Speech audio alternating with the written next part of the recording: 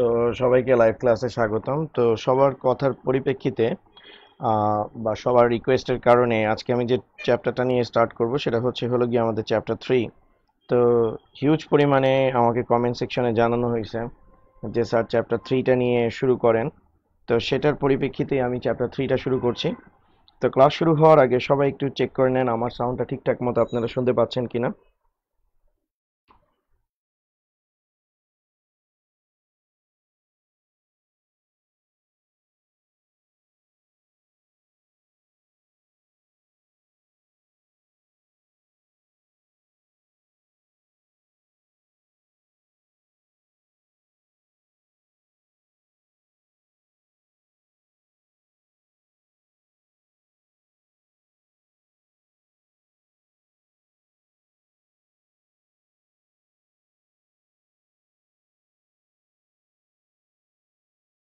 ওকে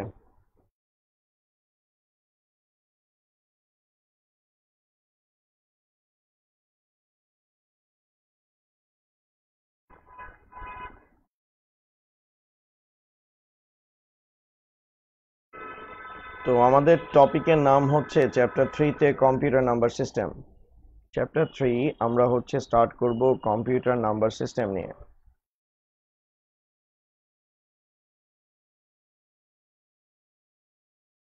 আর আন্তরিকভাবে দুঃখিত, আমার ওয়েব ক্যামটাতে আসলে একটু প্রবলেম দেখা দিয়েছে, যার কারণে আসলে ওয়েব ক্যামটা আমি মানে ইউজ করতে পারতেছি না। তার জন্য আন্তরিকভাবে দুঃখিত ইনশাল্লাহ নেক্সট ক্লাস নাগাদ আমি ওয়েব ক্যামটা আবার ঠিক করে নিব, হয়তো কোনো সফটওয়্যার কনফিগারেশন রিগার্ডিং সমস্যা হয়েছে। আলহামদুলিল্লাহ, আমি ভালো আছি, সাব্বির আহমেদ।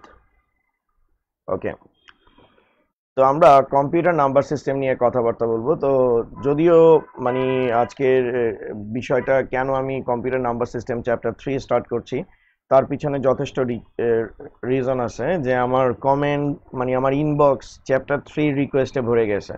তো যার কারণে চ্যাপ্টার থ্রিটা আমি স্টার্ট করছি। আর চ্যাপ্টার থ্রি শুধু স্টার্ট করব না, আমি চ্যাপ্টার থ্রি হচ্ছে এ টু জেড সব কিছু আপনাদেরকে দেখাবো, যাতে আপনাদের কোনো ধরনের কোনো ধরনের প্রবলেম না হয়। সাফি জামান আমি চ্যাপ্টার ফোর নিয়ে ডিসকাশন করব সামনে, সমস্যা নাই। আমাদের তো ওগুলো চ্যাপ্টার শেষ হয়ে গেছে, আমি একবারে সবগুলো চ্যাপ্টারের সিকিউ এগুলো নিয়ে কথাবার্তা বলব। ঠিক আছে? কম্পিউটার নাম্বার সিস্টেম তো আমরা চ্যাপ্টার থ্রি নিয়ে সবার প্রথমে ডিসকাশন করব। চ্যাপ্টার থ্রি তো আমাদের সবার প্রথমে নাম্বার সিস্টেমটা কেন স্টাডি করতে হবে? আর এই নাম্বার সিস্টেমটা স্টাডি করার দরকারটা কি? চ্যাপ্টার থ্রি দুইটা অংশের সমন্বয়ে গঠিত একটা হচ্ছে কম্পিউটার নাম্বার সিস্টেম আর একটা হচ্ছে ডিজিটাল লজিক ডিজাইন তো নাম্বার সিস্টেমটা আমরা কেন স্টাডি করি? নাম্বার সিস্টেমটা স্টাডি করার একটাই মূল উদ্দেশ্য হচ্ছে যে আমরা যাতে বুঝতে পারি কম্পিউটার আমাদের দেওয়া ইনস্ট্রাকশনগুলোকে কীভাবে এক্সিকিউট করে। অর্থাৎ নাম্বার সিস্টেম ছাড়া কখনো কম্পিউটার নাম্বার সিস্টেমের হেল্প ছাড়া কম্পিউটার কখনো আমাদের ইনস্ট্রাকশনগুলোকে রেকগনাইজ করতে পারবে না। আর আমাদের ইনস্ট্রাকশনগুলোকে যদি রেকগনাইজ না করতে পারে কম্পিউটার কাজ করতে পারবে না। তো আমরা দেখব যে কম্পিউটার কীভাবে নাম্বার সিস্টেমের মাধ্যমে আমাদের দেওয়া প্রতিটা ইনস্ট্রাকশনকে রেকগনাইজ করে এবং সেই অনুযায়ী তার কাজটাকে এক্সিকিউট করে। ওকে এবার আমরা ফার্স্টে নাম্বার সিস্টেমে যাওয়ার আগে আমরা কেন নাম্বার সিস্টেম স্টাডি করব সেটা নিয়ে একটু কথাবার্তা বলি। এখানে আমাদের আসতেছে কি? কম্পিউটার ওকে এখানে আমাদের আসতেছে হলো গিয়ে কম্পিউটার তো কম্পিউটারকে যদি আমরা ব্রেকডাউন করি, তাহলে হচ্ছে হলো গিয়ে আমরা কম্পিউট নামক একটা শব্দ পাবো। এই কম্পিউটটা একটা গ্রিক ওয়ার্ড এর মানে হচ্ছে হলো গিয়ে স্যার ক্যালকুলেশন করা। ঠিক আছে? এর মানে হচ্ছে ক্যালকুলেশন করা। এখন কথা হচ্ছে কম্পিউটার কম্পিউটার কিসের ক্যালকুলেশন করে? ওকে কম্পিউটার কিসের ক্যালকুলেশন করে? কম্পিউটার ডেফিনেটলি কম্পিউটার ক্যালকুলেশন করে হলো গিয়ে নাম্বারে। কম্পিউটার ডেফিনেটলি ক্যালকুলেশন করে নাম্বারের। তো সেটার জন্য আমাদের হচ্ছে নাম্বার সিস্টেম হচ্ছে হলো গিয়ে খুব ইম্পর্টেন্ট জি, তানভীর হাসান ওয়ান টুও পড়াবো টেনশন নেওয়ার কিছু নাই। সেটার জন্য আমাদের হচ্ছে কম্পিউটার নাম্বার সিস্টেমটা খুবই প্রয়োজন। ওকে? তো কম্পিউটার নাম্বারের ক্যালকুলেশন করে। তো কম্পিউট, পৃথিবীতে অনেক নাম্বার সিস্টেম আছে, কিন্তু তার ভিতরে পপুলার হচ্ছে হলো গিয়ে decimal binary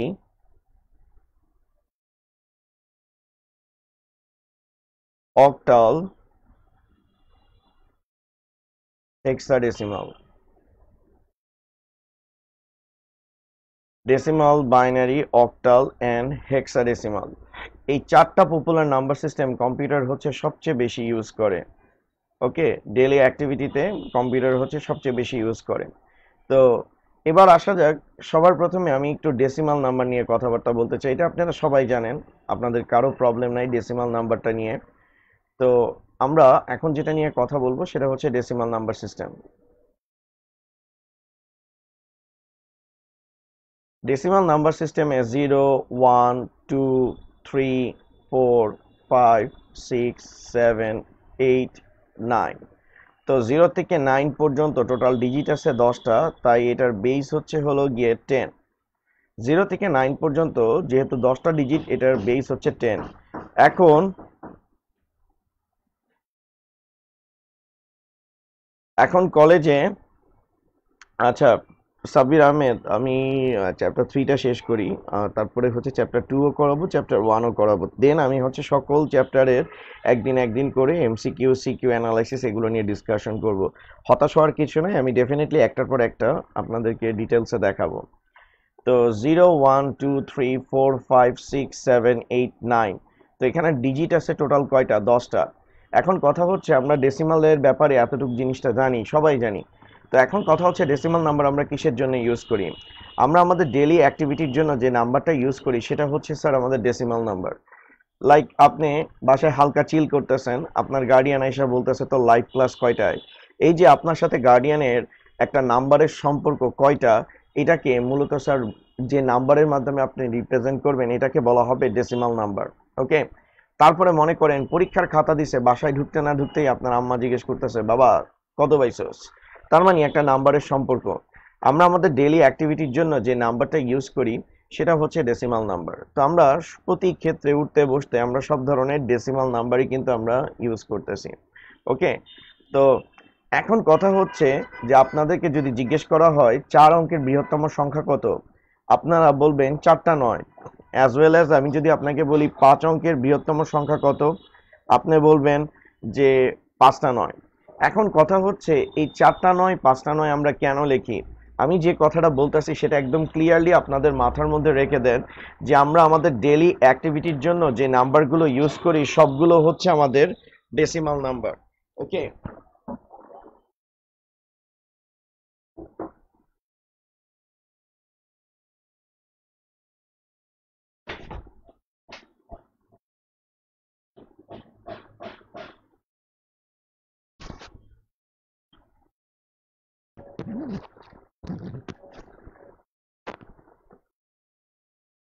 ওকে। এখন এখানে আমরা চারটা নয়, পাঁচটা নয় কেন লিখছি? আমরা প্রতিদিনকার কাজের জন্য যে নাম্বারগুলো ইউজ করি, প্রত্যেকটাই হচ্ছে আমাদের ডেসিমাল নাম্বার ঠিক আছে? তো এই ডেসিমাল নাম্বারের লিস্টে এখানে সবচেয়ে বড় হচ্ছে নাইন সেজন্য আমরা চারটা নয় ইউজ করতেছি, ঠিক আছে? ডেসিমালের লাইক হচ্ছে হলো গিয়ে চারটা নয়, আমরা কি করতেছি? এই জায়গাটাতে ব্যবহার করতেছি। ওকে কারণ ডেসিমাল নাম্বার সিস্টেমে সবচেয়ে বড় ডিজিট হচ্ছে নাইন সেজন্য আমরা হচ্ছে চারটা নয় ব্যবহার করছি। ওকে এবার আসা যাক। যদি ক্ষুদ্রতম সংখ্যা বলি, তখন আপনি বলবেন যে, স্যার, এটা তো কোনো ঘটনাই না। চার অঙ্কের ক্ষুদ্রতম সংখ্যা হচ্ছে চারটা জিরো চার অঙ্কের ক্ষুদ্রতম সংখ্যা হচ্ছে হলো গিয়ে চারটা জিরো ওকে তো এখন এই যে চারটা জিরো আমরা যদি লিখি, চারটা জিরো দিয়ে কখনো নাম্বার জেনারেট করা যায় না, ঠিক আছে? ওকে চারটা জিরো দিয়ে কোনো নাম্বার শুরু হইতে পারে না। তো জিরো থেকে ইমিডিয়েট বড় কে? ওয়ান তাই ফার্স্টের ডিজিটটা কার দ্বারা রিপ্লেস হয়? ওয়ান দিয়ে। আর এরপরে ওয়ান থেকে ইমিডিয়েট ছোটকে জিরো বাদ বাকি ঘরগুলো কি দ্বারা রিপ্লেস হয়? জিরো দ্বারা রিপ্লেস হয়। এই কথাটা কেন আমি আপনাদেরকে বলতেছি যে চার অঙ্কের বৃহত্তম সংখ্যা কত, ক্ষুদ্রতম সংখ্যা কত? কারণ সামনে চার অঙ্কের অক্টাল নাম্বার কত সেটাও আপনাকে জিজ্ঞেস করতে পারে। চার অঙ্কের ক্ষুদ্রতম অক্টাল নাম্বার কত সেটাও জিজ্ঞেস করতে পারে। তো এইটার মেকানিজমটা যদি আপনি ভালো মতো বুঝেন যে কীভাবে বড় সংখ্যা এবং ছোট সংখ্যা গঠন হয় কীভাবে maximum digit maximum number minimum number তৈরি হয়, সেটার জিনিসটা যদি আপনি ভালো মতো বুঝেন, তাহলে হচ্ছে হলো গিয়ে আপনি জিনিসটাকে এক্সিকিউট করতে পারবেন।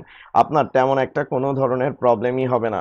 ঠিক আছে স্যার তো এখানে আমাদের, আমরা যেটা এখানে এক্সপ্লেইন করতেছি, আশা রাখি আপনারা বিষয়টা বুঝতে পারছেন। ওকে তো জিরো থেকে ইমিডিয়েট বড় হচ্ছে ওয়ান তাই ক্ষুদ্রতম সংখ্যা গঠনের জন্য ফার্স্টের ডিজিটটা ওয়ান আসে। এরপরের যে কতগুলো ঘর খালি থাকে সেগুলো হচ্ছে জিরো দ্বারা রিপ্লেস হয়ে যায়। কারণ সংখ্যায় স্টার্ট জিরো দিয়ে হইতে পারেন তো জিরো থেকে ইমিডিয়েট বড় কে? ওয়ান তো ওয়ান যেহেতু চলে আসছে, এখন ওয়ানের থেকেও ক্ষুদ্রতম সংখ্যা আছে বাদ বাকি ঘরগুলো জিরো দ্বারা কি হয়ে যাচ্ছে? রিপ্লেস হয়ে যাচ্ছে। তো আমি এখানে যেটা বলছিলাম ডেসিমাল নাম্বার তো ডেইলি অ্যাক্টিভিটির জন্য আমরা যে নাম্বার ইউজ করি, সেটা হচ্ছে ডেসিমাল নাম্বার এবার আমরা স্টার্ট করতেছি বাইনারি ওকে বাইনারিকে যদি আমরা সেগমেন্টেশন করি বা বিভাজন করি, তাহলে আমি এখানে পাবো বাই প্লাস নারী। এই নারী কিন্তু সেই নারী না, ঠিক আছে? এই নারী কিন্তু সেই নারী না। বাই মানে হচ্ছে হলো গিয়ে আমার টু আর নারী মানে হচ্ছে হলো গিয়ে আমার digits that means two digits এটা হচ্ছে কি আমার জিরো আর ওয়ান ঠিক আছে? টু ডিজিটস মানে হচ্ছে জিরো আর ওয়ান ওকে জিরো আর ওয়ান পৃথিবীতে যত খেলা আছে, সকল খেলায় এই বাইনারি নাম্বার সিস্টেমের মাধ্যমেই তৈরি হয়। আর এই বাইনারি নাম্বার সিস্টেমটা ইনভেন্ট করছে sir Gottfried Leibniz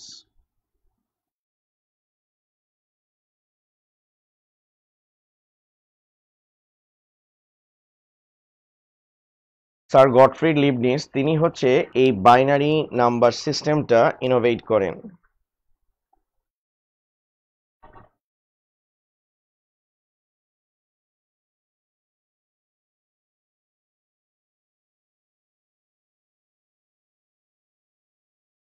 ঠিক আছে? গডফ্রিড লিবনিস ওকে আর বাইনারির বাংলা মিনিং হচ্ছে হলো গিয়ে স্যার দিমিক এটা এমসিকিউতে প্রায় সময় আসে। বাইনারির বাংলা মিনিং কি? দিমিক ওকে তো পৃথিবীতে যত ডিজিটাল ইলেকট্রনিক্স আছে, পৃথিবীতে যত ডিজিটাল ইলেকট্রনিক্স আছে, পৃথিবীতে যত ডিজিটাল ইলেকট্রনিক্স আছে সেই ডিজিটাল ইলেকট্রনিক্সকে কন্ট্রোল করার জন্য মূলত হচ্ছে হলো গিয়ে বাইনারি নাম্বার সিস্টেম ব্যবহার করা হয়।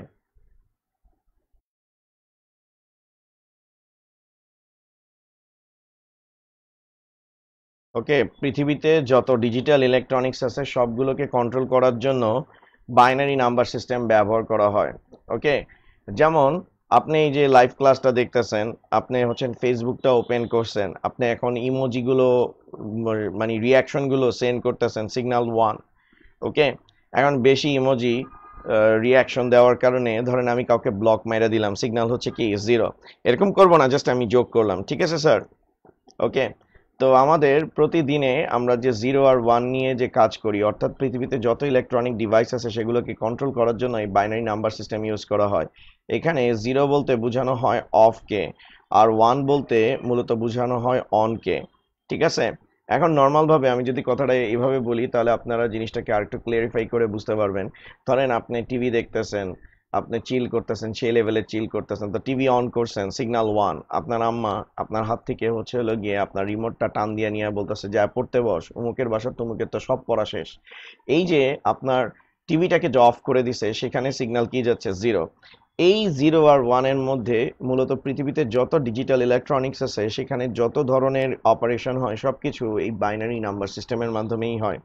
ওকে স্যার তো বাইনারির পর এবার আমরা আসতেছি অক্টাল নাম্বার সিস্টেমে ঠিক আছে? Octal number system octal number system binary bit grouping এর জন্য ব্যবহার করা হয়, ঠিক আছে? বাইনারি বিট গ্রুপিং এর জন্য বাইনারি বিট গ্রুপিং এর জন্য অক্টাল নাম্বার সিস্টেম ব্যবহার করা হয়। যেমন, এটা যদি আমি একটু বুঝাই, তাহলে আপনি খুব ভালোভাবে বুঝতে পারবেন যে বিট গ্রুপিং জিনিসটা কি। আর এই বাইনারি বিট গ্রুপিং এর কারণেই কম্পিউটারের কম্পিউটার খুব ফাস্ট স্পিডে বা খুব স্পিডে তার ক্যালকুলেশনগুলো কম্পিউটার খুব ফাস্ট অপারেশন পারফর্ম করতে পারে। ঠিক আছে? তার মানে অক্টাল নাম্বার বিট গ্রুপিং করে আর অক্টাল নাম্বার বিট গ্রুপিং করার পর কম্পিউটার খুব ফাস্ট কি করে? অপারেশন পারফর্ম করে। ঠিক আছে? তো যদি অক্টাল নাম্বার না থাকতো তাহলে বিট গ্রুপিং হইতো না, কম্পিউটার ফাস্ট কাজ করতো না। তো এটার একটা ইনসিডেন্ট বলি। তাহলে আপনারা বিষয়টা খুব ভালোভাবে বুঝতে পারবেন। তো আমি তো স্যার খুবই মেরিটোরিয়াস এবং ট্যালেন্টেড স্টুডেন্ট ছিলাম, আপনারা সবাই জানেন, খুবই ভালো স্টুডেন্ট ছিলাম। তো ম্যাক্সিমাম টাইমে যখন পরীক্ষার টাইম আসতো, আমার সকল ফ্রেন্ডরা আল্লাহর কাছে দোয়া করতো যে, আমার আশেপাশে যেই বসুক না কেন, তানভীর যেন না বসে। তো আল্লাহ তো সবার দোয়া কবুল করে না। তো যারটা কবুল করতো না, তার পাশে হচ্ছে হলো গিয়ে আমি যাই বসে পড়তাম। ওকে তো এই যে মনে করেন মানে আল্লাহ সবার দোয়া কবুল করে, কিন্তু ইনস্ট্যান্টলি তো করে না, কারোটা আগে, কারোটা পরে করে। তো যাদেরটা পরে করতো, তাদের কপালে আমি থাকতাম, তো আমি যে বসে পড়তাম যে, দোস্ত টেনশন নিস না, আমি তো আসি। তো বলে, এটাই তো অনেক টেনশনের কারণ। তো পরীক্ষা যথারীতি স্টার্ট হইতো সিকিউ যেমন তেমন এম সিকিউ স্টার্ট হইলে ওদের উপর দিয়ে পুরো মনে করেন যে, ট্রনেডো যাইতো। তো আমি জিজ্ঞেস করতাম, দোস্ত, এক কত তো যখনই এক জিজ্ঞেস করতাম, তো ওই যাকে জিজ্ঞেস করতাম, তার মুখে একটা বিরক্তি থাকতো। অবশ্যই থাকবে, কারণ ভালো স্টুডেন্ট খুবই ট্যালেন্টেড স্টুডেন্ট তো সে পরবর্তীতে বলতো, তুই কি পড়ালেখা করবি না? তুই প্রত্যেকটা দিনকে এভাবে জ্বালায় মারবে? আমি দোস্ত, বল না, এরকমই তো। তো এরপরে আবার দ্বিতীয়টা যখন জিজ্ঞেস করতাম, সে আরও বেশি বিরক্ত হতো আরও নীতি কথাবার্তা বলতো মোটিভেশনাল কথাবার্তা বলতো এথিক্সের কথা বলতো। তাই আমি বলতাম যে, দোস্ত প্লিজ এবারের মতো দেখায় দে। তারপর তিনটা যখন, তৃতীয় নাম্বারটা যখন জিজ্ঞেস করতো আমি যখন জিজ্ঞেস করতাম, তখন আরও বেশি বিরক্ত হইতো। আমি তখন বলতাম যে, দোস্ত, তুই এবারেরটা দেখা দে, আমি সত্যি বলতেছি, আর তোর থেকে একটাও দেখব না। তো সে মনে মনে খুব খুশি হইতো যে, যাক এবার এটা দেখায় বাঁচবো, তাহলে এর কাছ থেকে এ আমাকে আর বিরক্ত করবে না। তার কিছুক্ষণ পর কিছুক্ষণ পর মনে করেন কলম নাড়াচাড়া করে কানের কাছে যা বলতেছি, দোস্ত, তিনের পর থেকে যা আছে সব বইলা দে, নয়তো বাইরে গেলে খেলা স্টার্ট হওয়ার চান্স আছে। তো ও বুঝে গেছে যে, আসলে আমি জিনিসটা খেলা বলতে কি বুঝাইছি, আপনারাও নিশ্চয়ই বুঝছেন। তো সে আমাকে বলে আমি কিন্তু কাউকে এনকারেজ করতেছি না, ঠিক আছে? আমি জাস্ট আমার মানে জাস্ট বলতেছি, একটা সিনারিওর কথা বলতেছি। তো বলতেছে, দোস্ত, এভাবে করে প্রত্যেকটা এমসিকিউ দেখতে দেখতে তো স্যার খাতাও নিয়ে যেতে পারে। এক কাজ কর, পরীক্ষার পাঁচ মিনিট আগে আমি কোশ্চেনের মধ্যে সব কিছু তোকে দাগায়, তোকে হচ্ছে কোশ্চেন পেপার দিয়ে যাব। তুই তোর ইচ্ছা মতো হচ্ছে দাগায় নিস, ঠিক আছে? তো এখন আমি চুপচাপ বসে আছি। তো ঠিক পাঁচ মিনিট আগে মনে করেন আমার এমসিকিউর মধ্যে এমসিকিউর মধ্যে হচ্ছে হলো গিয়ে সবকিছু দাগায় আমাকে দিয়ে দিছে। দেওয়ার পর আপনাদের মনে হতে পারে আমার পাঁচ মিনিট লাগবে। আমার পাঁচ মিনিট লাগে না, আমার মাত্র দুই মিনিট লাগছে, কারণ আমি তো প্রফেশনাল কপি পেস্ট আলা মানুষ। তো এখানে সাথে অক্টাল নাম্বারের সম্পর্ক কি, সেটা একটু দেখেন। আমার ফ্রেন্ড ইন্ডিভিজুয়ালি একটা একটা করে আমাকে হচ্ছে, আমি যখন আমার ফ্রেন্ডের থেকে এমসিকিউগুলো নিতেছিলাম, তো একটা একটা করে এমসিকিউ আমি নিতেছিলাম। তার মানে এই যে একটা একটা করে এমসিকিউ নিতেছিলাম, আমার টাইম কি লাগতেছিল? বেশি লাগতেছিল। পরবর্তীতে আমার ফ্রেন্ড কি করছে এমসিকিউগুলো সবগুলো গ্রুপ আকারে আমার কাছে পাঠাই দিছে। তার কারণে আমার কি লাগতেছে? টাইমটা কম লাগতেছে। ওকে এই যে গ্রুপ আকারে আমাকে যেটা পাঠাই দিছে, সেটাকে মূলত স্যার বলা হয় অক্টাল নাম্বার সিস্টেম ঠিক আছে? তো অক্টাল নাম্বার সিস্টেম এভাবে করে অনেকগুলো বিটকে নিয়ে কি করে স্যার কাজ করে। আর অক্টাল নাম্বার সিস্টেমে কি কি আছে? Zero one two three four five six seven okay এটার বেস হচ্ছে হলো গিয়ে আমাদের কি? এইট এটা মূলত স্যার বিট গ্রুপিংয়ের জন্য ব্যবহার করে। যেমন স্যার, আমরা যদি কম্পিউটারের প্রসেসরগুলোকে অ্যানালাইসিস করি, তাহলে আমরা বিষয়টা বুঝতে পারব। কম্পিউটারের প্রসেসর ঠিক আছে? যেমন, এখন মানে পৃথিবীর আদি থেকে যে প্রসেসরগুলো আসছে, সেগুলোর একটু বলি। যে পৃথিবীর প্রথম প্রসেসর ছিল, এটা অনেক কষ্টে মনে রাখছি এইট ডাবল জিরো জিরো মানে এইট ডাবল জিরো এইট এটা সর্বোচ্চ কত বিটের ছিল? এইট বিটের ছিল। এরপরে যে প্রসেসরটা আসছে, সেটা হচ্ছে সিক্সটিন বিটের ছিল। এরপরে যে প্রসেসরটা আসছে, সেটা থার্টি টু বিটের ছিল। আর এখন আমরা যে লেটেস্ট প্রসেসরটা সবাই ইউজ করতেছি, সেটা হচ্ছে sixty four bit in fact এই সিক্সটি ফোর বিটের প্রসেসরটা মূলত এখন সুপার কম্পিউটারেও ব্যবহার করা হয়। ঠিক আছে? সুপার কম্পিউটারে এই সিক্সটি ফোর বিটের প্রসেসর ইউজ করা হয়। এখন আপনি যদি একটু ভালো মতো দেখেন, তাহলে দেখবেন এই যে এইট বিটের কথা বলছি এইটের গ্রুপিং কত? টু এর পাওয়ার থ্রি সিক্সটিনের গ্রুপিং কত? টু এর পাওয়ার ফোর থার্টি টু এর গ্রুপিং কত? টু এর পাওয়ার ফাইভ সিক্সটি ফোর এর গ্রুপিং কত? টু এর পাওয়ার সিক্স তাহলে দেখেন, এখানে থ্রি ফোর ফাইভ সিক্স এখানে এই পর্যন্ত আমাদের অলরেডি বিট গ্রুপিং হয়ে গেছে। এখন আপনি বলতে পারেন যে, স্যার, এখানে আপনি টু কেন নিছেন? স্যার, এখানে টু বলতে মূলত, স্যার, হচ্ছে হলো গিয়ে বাইনারি বেসকে বোঝানো হচ্ছে। ঠিক আছে? কারণ কম্পিউটারের প্রসেসর কম্পিউটারের প্রসেসর একটা ইলেকট্রনিক ডিভাইস কম্পিউটারের প্রসেসর প্রসেসর একটা হচ্ছে ইলেকট্রনিক ডিভাইস আর এই ইলেকট্রনিক ডিভাইসগুলো সবসময় কোন নাম্বার সিস্টেমে কাজ করে? বাইনারি বেইজে কাজ করে। তো এখানে দেখেন, সেই বিটগুলো নেওয়া হয়েছে যাদেরকে টু এর পাওয়ার আকারে রাখা যায়। তো অলমোস্ট আমরা হচ্ছে অক্টাল নাম্বারের এই সিক্স পর্যন্ত ইউজ করে ফেলছি বিট গ্রুপিংয়ের জন্য।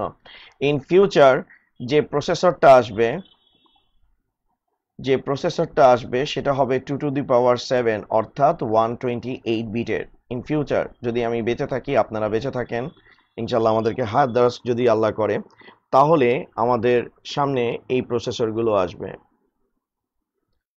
ওকে স্যার ক্লিয়ার বুঝতে পারছেন স্যার আপনারা স্যার একটু কমেন্ট সেকশনে বলেন, আমি তো আসলে বুঝতেছি না যে আপনারা বুঝতেছেন কিনা। আমি তো আমার মতো করে পড়াই যাইতেছি, আর আমার কাছে তো মনে হচ্ছে আমি অনেক জোস পড়াইতেছি। কিন্তু এটা যারা আমার অডিয়েন্স তারা হচ্ছে হলো গিয়ে খুব ভালো মতো বুঝতে পারবে। ওকে?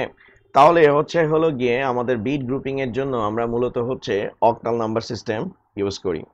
ওকে? তো আমাদের ডেলি অ্যাক্টিভিটির জন্য আমরা হচ্ছে অক্টাল নাম্বার সিস্টেমগুলোকে ইউজ করি sir clear sir octal number সিস্টেমের পর এবার আমাদের আসতেছে hexadecimal number system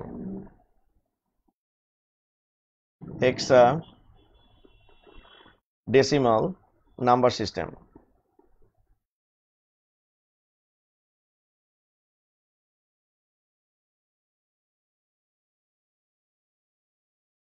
hexadecimal number system.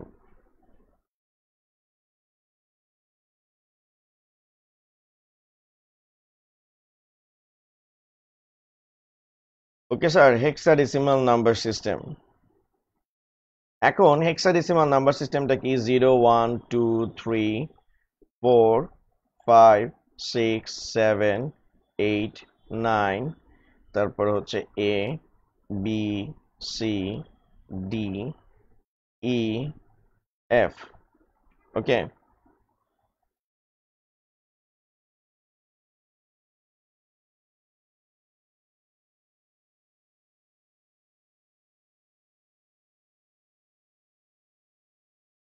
তো এখানে এর ডেসিমাল ভ্যালু হচ্ছে টেন বি এর ডেসিমাল ভ্যালু হচ্ছে ইলেভেন সি এর হচ্ছে টুয়েলভ ডি এর হচ্ছে হলো গিয়ে থার্টিন ই এর হচ্ছে হলো গিয়ে ফোরটিন আর এফ এর হচ্ছে হলো গিয়ে ফিফটিন এফ এর হচ্ছে হলো গিয়ে ফিফটিন ঠিক আছে? এগুলো ডেসিমাল ভ্যালু দেওয়া আছে। এখন এই হেক্সাডেসিমাল নাম্বার সিস্টেম আমরা কেন ইউজ করি?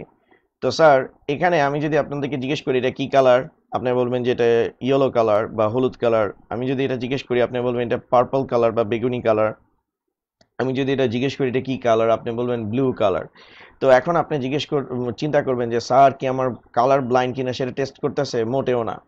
আমি এখানে যে কালারগুলো দেখতেছি বা এখানে যত ধরনের কালারের কম্বিনেশনগুলো ইউজ করতেছি, এই কালারগুলো মূলত হচ্ছে কেমনে প্রডিউস হয়? অর্থাৎ আমরা যে ডিজিটাল ইলেকট্রনিক্সে ডিজিটাল ইলেকট্রনিক্সে ডিজিটাল ইলেকট্রনিক্সে যে কালারের কম্বিনেশনগুলো নিয়ে কাজ করি, যে কালার জেনারেট হয়, সেই কালারগুলো জেনারেট করা হয় মূলত স্যার এই হেক্সাডেসিমাল নাম্বার সিস্টেমের মাধ্যমে। ওকে অর্থাৎ ডিজিটাল ইলেকট্রনিক্সে আমি যে এখানে কালারগুলো দিছি এগুলো কোন কোন সিস্টেমে দিছে? ডিজিটাল ইলেকট্রনিক্সে তো ডিজিটাল ইলেকট্রনিক্সে যখন কালার নিয়ে কাজ করতে হয়, তখন হেক্সাডেসিমাল নাম্বার সিস্টেম ব্যবহার করা হয়। হেক্সাডেসিমাল নাম্বার সিস্টেম প্রায় সিক্সটিন মিলিয়ন কালার প্রডিউস করতে পারে। ঠিক আছে? সিক্সটিন মিলিয়ন কালার যেটা সম্বন্ধে আপনাদের কোনো ধরনের মনে করেন যে অনেক কালার আছে, আপনি জীবনে দেখেনও নাই, ওগুলার নামও জানেন না। ঠিক আছে? তো কম্পিউটার সিস্টেমে এই হেক্সা ডেসিমাল নাম্বার সিস্টেমের মাধ্যমে হচ্ছে হলো গিয়ে কালার কোড তৈরি করা হয়। কালার কোড তৈরি করা হয়, যেটাকে আমরা হেক্সা কালার কোড বলি। এই যে আপনাদের মোবাইলের যে ডিসপ্লে আছে, মোবাইলের ডিসপ্লেটাকে বলা হয় জিইউআই গ্রাফিক্যাল ইউজার ইন্টারফেস যেটার মধ্যে আপনাদের বিভিন্ন আইকন দেওয়া আছে। ঠিক আছে? যেমন আমি এখানে দেখেন যে বিভিন্ন আইকন দেওয়া আছে, এখানে ক্রস আইকন দেওয়া আছে, এখানে ম্যাক্সিমাইজ মিনিমাইজ আছে, তারপর মানে ম্যাক্সিমাইজ আছে মিনিমাইজ আছে, তারপর ক্ল মানে এটাকে ক্লোজ করার আইকন আছে। এই যে আইকনগুলো যে দেওয়া আছে এই আইকনগুলো বিভিন্ন কালার দিয়ে তৈরি করা হয়। এই কালারগুলো, এই আইকন সমৃদ্ধ এই যে ডিসপ্লেটাকে, এটাকে বলা হয় জিইউআই গ্রাফিক্যাল ইউজার ইন্টারফেস আর এই গ্রাফিক্যাল ইউজার ইন্টারফেসে আপনি যত ধরনের কালার দেখেন লাইক ইউটিউবের আইকনের কালার দেখেন হোয়াটসঅ্যাপের কালার দেখেন, এই যে যত কালার দেখেন, এই সকল কালার প্রডিউস করার জন্য মূলত হচ্ছে হেক্সাডেসিমাল নাম্বার সিস্টেম ব্যবহার করা হয়। ওকে স্যার আর হেক্সাডেসিমাল নাম্বার সিস্টেম আরও অনেক জায়গায় ব্যবহার করা হয়। যেমন হচ্ছে আইপিভি সিক্সে ব্যবহার করা হয়, এটা আমি বলছিলাম। ইন্টারনেট প্রোটোকল ভার্সন সিক্সে এই হেক্সাডেসিমাল নাম্বার সিস্টেম ব্যবহার করা হয়। ঠিক আছে স্যার তো প্রতি ক্ষেত্রেই আমরা হচ্ছে হলো গিয়ে এই হেক্সাডেসিমাল নাম্বার সিস্টেম ব্যবহার করি, কোন ক্ষেত্রে? যেগুলো হচ্ছে কালার প্রডিউস করার ক্ষেত্রে। এখন হেক্সা কালার কোড তৈরি করার সিস্টেমটা কি? ফার্স্টে হ্যাশ দিতে হবে, তারপর হচ্ছে আপনার দিতে হবে six hexadecimal digit six hexadecimal digits okay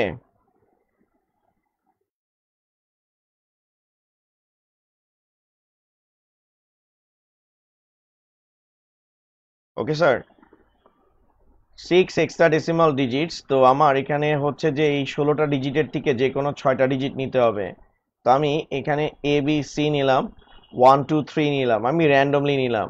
তো আপনি আপনার ইচ্ছা মতো ছয়টা ডিজিট নিতে পারেন। আপনি চাইলে সবগুলো ডিজিট সেম নিতে পারেন। তো দেখেন, এখানে প্রথম দুইটা ডিজিট নেওয়ার কারণ হচ্ছে, এটা হচ্ছে রেডের মানে লালের পরিমাণটাকে কোয়ান্টিটিটাকে ডিসাইড করে। পরের দুইটা হচ্ছে গ্রিন আর পরের দুইটা হচ্ছে ব্লুর কোয়ান্টিটিকে ম্যানেজ করে।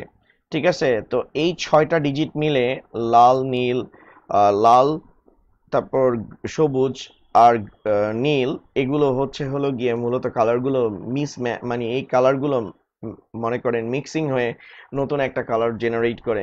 মনে রাখতে হবে প্রতি দুইটা ডিজিট হচ্ছে হলো গিয়ে প্রত্যেকটা কালারের পরিমাণকে কি করে ডিসাইড করে। ঠিক আছে? ওকে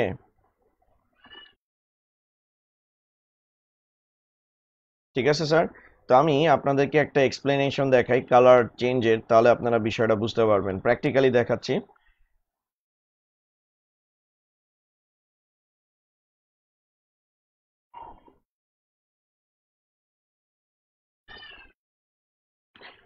তো এখানে কেউ ভয় পাওয়ার কিছু নাই।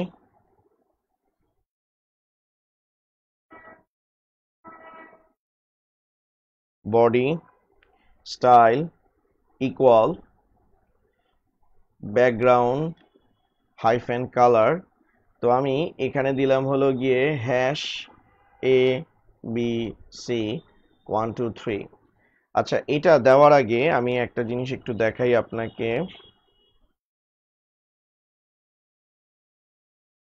তো মনে করেন যে আমি এই পেজটাকে ওপেন করলাম। তো এই পেজটাকে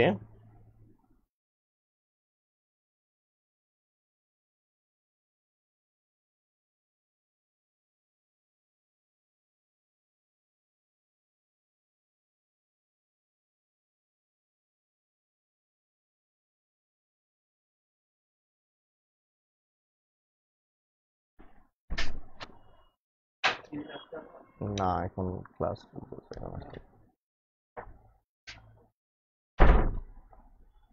ওকে তো আমি এটাকে একটু রান করি। এখন দেখেন, এই পেজের কালারটা কিন্তু আমার পুরো হোয়াইট দেখাচ্ছে। এই পেজের কালারটা আমার হচ্ছে হলো গিয়ে পুরো হোয়াইট দেখাচ্ছে। পেজের কালারটা হচ্ছে পুরোটা হোয়াইট দেখাচ্ছে। এখন দেখেন আমি এটাকে হচ্ছে ফাইল দিয়ে সেভ করলাম। আর এবার আমি যদি এটাকে রান করি, আমার পেজের কালারটা কি হয়ে যাচ্ছে স্যার চেঞ্জ হয়ে যাচ্ছে। ইনফ্যাক্ট আমি যদি এখানে মনে করেন, এখন আপনি বলতে পারেন স্যার আপনি এটা কেমনে বুঝছেন যে এটার কালার এরকম হবে? আমি র্যান্ডমলি দিছি। যেমন দেখেন, আমার সবচেয়ে ফেভারিট নাম্বার হচ্ছে হলো গিয়ে জিরো ঠিক আছে? আমার ফেভারিট নাম্বার হচ্ছে হলো গিয়ে জিরো তো ফাইল দিয়ে আমি এটাকে হচ্ছে সেভ করতেছি। তো হ্যাশ ছয়টা জিরো দেওয়া আছে। তো আমি এখন এটাকে যদি রান করি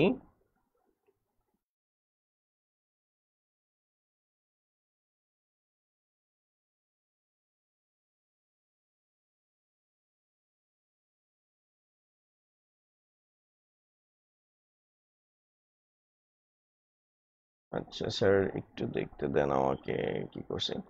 এখানে আমি কোলনটা দিই নাই, তো কোলনটা দিলাম মানে সরি ডাবল কোড দিই নাই আমি।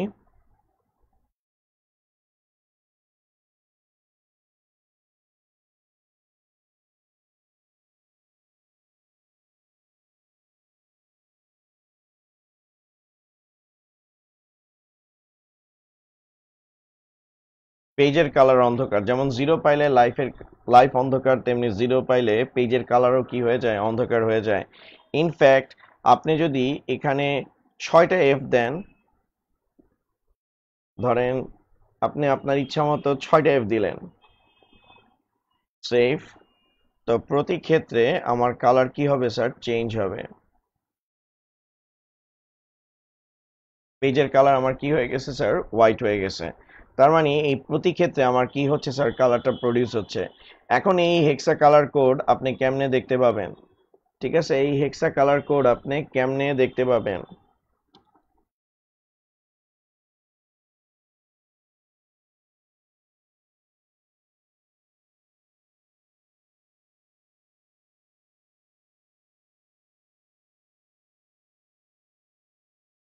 এই যে হেক্সা কালার কোড তো এখানে দেখেন আমাদের বিভিন্ন ধরনের কালার কোড দেওয়া আছে।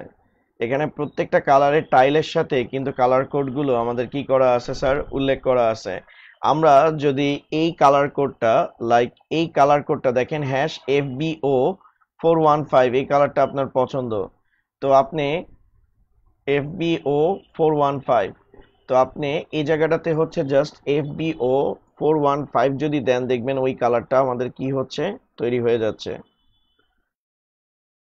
ফাইল দিয়ে আমরা হচ্ছে এটাকে সেভ দিলাম, আর এটাকে আমরা একটু রান করে দেখতে চাই।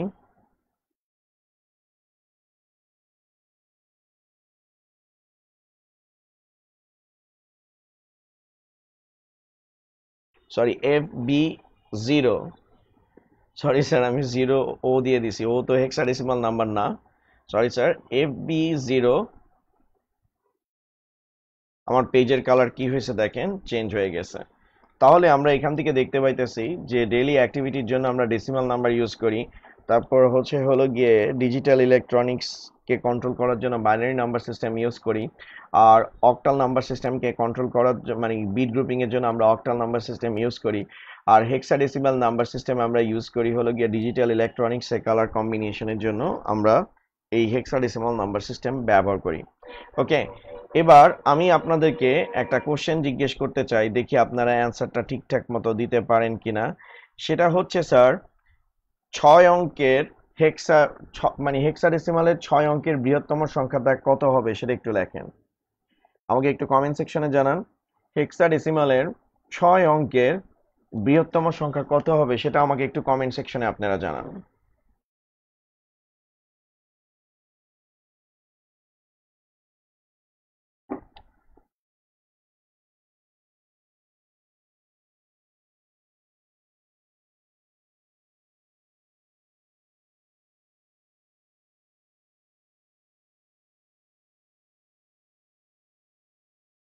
তো সিজুকা ফার্স্টে অ্যান্সার দিছে। ছয়টা এফ হবে ঠিক আছে? তার অ্যান্সার কারেক্ট মামুনুর রহমান, তার অ্যান্সারটাও সঠিক। শুভরটাও সঠিক হয়েছে। না না শুভরটা সঠিক হয়নি। এফ এফ এফ জি কেন? মিলন মাহমুদ রাশেদেরটা ঠিক আছে। শুভরটা এবারেরটা ঠিক আছে। আবদুল্লাহ ইমতিয়াজ হয়নি। শারিয়ার ইসমাইলেরটা ঠিক আছে। আবদুল্লাহ তুহিনেরটা ঠিক আছে।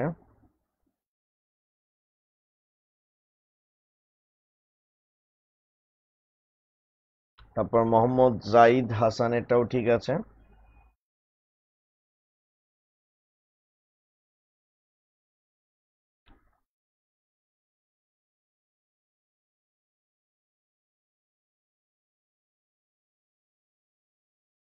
আচ্ছা তো তমুরটাও ঠিক আছে, প্রার্থনা ইসলামেরটাও ঠিক আছে।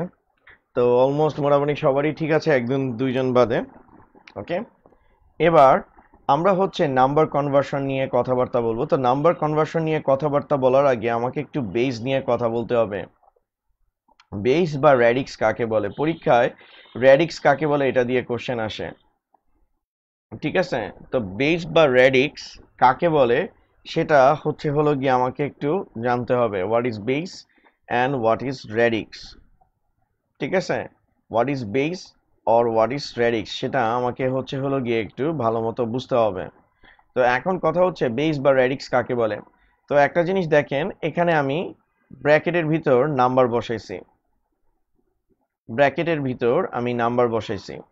এখন একটা জিনিস দেখেন যে এই ব্র্যাকেটের ভিতর যে নাম্বারগুলো আছে, প্রত্যেকটা নাম্বার কিন্তু সেম ওকে প্রত্যেকটা নাম্বার কিন্তু সেম কিন্তু আমি যখন এই জায়গায় টু বসায় দিচ্ছি, এটাকে কিন্তু আমার কি বলতে হবে? বাইনারি বলতে হবে। আমি যখন এই জায়গাটাতে এইট বসাচ্ছি, আমি যখন এই জায়গাটাতে এইট বসাচ্ছি, এটাকে আমার তখন কি বলতে হবে? অক্টাল বলতে হবে। এই জায়গাটাতে আমি যখন টেন বসাচ্ছি, তখন এটাকে আমার কি বলতে হবে? ডেসিমাল বলতে হবে। ওকে? আমি যখন এই জায়গাটাতে সিক্সটিন বসাচ্ছি, এটাকে আমার হেক্সাডেসিমাল নাম্বার বলতে হবে।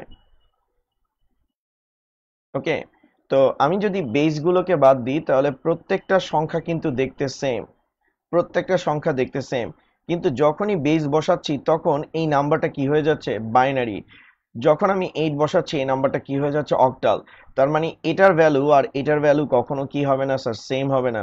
তাহলে আমরা বলতে পারতেছি যে এটা হচ্ছে কোনো একটা সংখ্যা আর যেই পজিশনটাতে আমি টু বসাইছি, সেই পজিশনটাকে বলা হবে সাফিক্স আর এখানে যে টু বসাইছি এইট বসাইছি টেন বসাইছি সিক্সটিন বসাইছি, এগুলো পূর্ণ সংখ্যা বা ইন্টেজার ভ্যালু যা এই নাম্বারের নেচার ডিসাইড করে। তাহলে আমি বলতে পারি যে সাপোজ এটা হচ্ছে হলো গিয়ে আমাদের একটা নাম্বার ওকে? এটা হচ্ছে আমাদের একটা নাম্বার এই নাম্বারের এই যে পজিশনটা আছে, এই পজিশনটাকে বলা হয় হলো গিয়ে সাফিক্স পজিশন ঠিক আছে? এই পজিশনটাকে কি বলি আমরা? সাফিক্স পজিশন আর এই সাফিক্স পজিশনে আমরা যে টু বসাই অথবা এইট বসাই অথবা টেন বসাই অথবা সিক্সটিন বসাই, এই টু এইট সিক্সটিন এই প্রত্যেকটাই আমাদের কি ভ্যালু ইন্টেজার ভ্যালু কেউ আবার এটাকে ইন্টেজার বললেন না, এটাকে আমরা কি কনসিডার করব? ইন্টেজার ভ্যালু কনসিডার করব। তো আমরা যখন টু বসাবো, তখন এই নাম্বারটা হয়ে যাবে কি আমার? বাইনারি ওকে আমি যখন এখানে এইট বসাবো, তখন এই নাম্বারটা আমার হয়ে যাবে কি? অক্টাল যখন টেন বসাবো, সেটা হয়ে যাবে আমার ডেসিমাল আর যখন সিক্সটিন বসাবো, সেটা হয়ে যাবে কি? আমার হেক্সা ডেসিমাল ওকে তাহলে আমরা কি বুঝলাম? যে কোনো নাম্বারের সাফিক্সে অবস্থিত ইন্টেজার ভ্যালু যা ওই নাম্বারের, যা ওই নাম্বারের বাইনারি, অক্টাল, ডেসিমাল, হেক্সাডেসিমাল তথা নেচার ডিসাইড করে তাকে মূলত আমরা কি বলব? বেস বলব। তাহলে আমরা ডেফিনেশনটা কি দিব? কোনো নাম্বারের সাফিক্সে অবস্থিত ইন্টেজার ভ্যালু যা ওই নাম্বারের যা ওই নাম্বারের প্রকৃতি নির্ধারণ করে, তাকে মূলত স্যার বলা হয় বেস বা র্যাডিক্স ওকে, আমি কথাটা আরেকবার একটু এক্সপ্লেইন করতেছি। কোনো নাম্বারের সাফিক্সে অবস্থিত কোনো নাম্বার, তো কোনো নাম্বার বলতে এই নাম্বারটা ঠিক আছে? সাফিক্স বলতে যে পজিশনে আমি টুকে বসাইছি, সেটা হচ্ছে সাফিক্স আর এই যে সাফিক্স পজিশনে আমি টু বসাইছি, এটা কোন ধরনের ভ্যালু পূর্ণ সংখ্যা বা ইন্টেজার ভ্যালু এই টু বসানোর কারণে এই টেনের নেচার হয়ে গেছে কি? বাইনারি তো কোনো সংখ্যার কোনো সংখ্যার সাফিক্সে অবস্থিত ইন্টেজার ভ্যালু যা ওই সংখ্যার প্রকৃতি নির্ধারণ করে, তাকে বেস বা র্যাডিক্স বলে। তো বেস বা র্যাডিক্স কেন ম্যান্ডাটরি স্যার বেস বা র্যাডিক্স ছাড়া এটা কোন ধরনের নাম্বার সেটা আমরা কখনো আইডেন্টিফাই করতে পারব না। বেস বা র্যাডিক্সকে মূলত নাম্বারের আইডেন্টিফায়ার বলা হয়। ধরেন, আমি আপনাদেরকে যদি এখন কোশ্চেন করি এ বি সি কোন ধরনের নাম্বার তা নির্ণয় করো? এ বি সি কোন ধরনের নাম্বার তা নির্ণয় করো? আর আপনাদেরকে আরেকটা জিনিস একটু বলে রাখ আচ্ছা এটা একটু পরে বলতেছি। বলেন তো এ এবিসি কোন ধরনের নাম্বার এ এবিসি কোন ধরনের নাম্বার সেটা একটু আমাকে এক্সপ্লেইন করেন।